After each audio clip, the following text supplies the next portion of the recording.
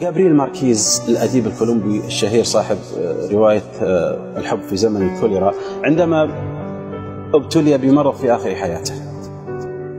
ابتلي بمرض في آخر حياته. قال كلاما يقطع نياط القلب وتتأوه لها القلوب قال آه ثم آه ثم آه ثلاث آهات. تأوهها قال آه لو منحت قطعة من الحياة يعني لو رجعت شوي بس. لملأت عيني. وقلبي وحضني ممن أحب.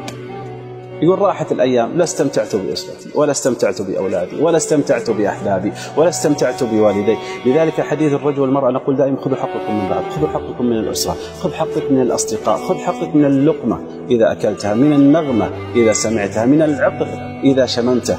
خذ حقك من الجمال الذي تراه في السماء في الشمس.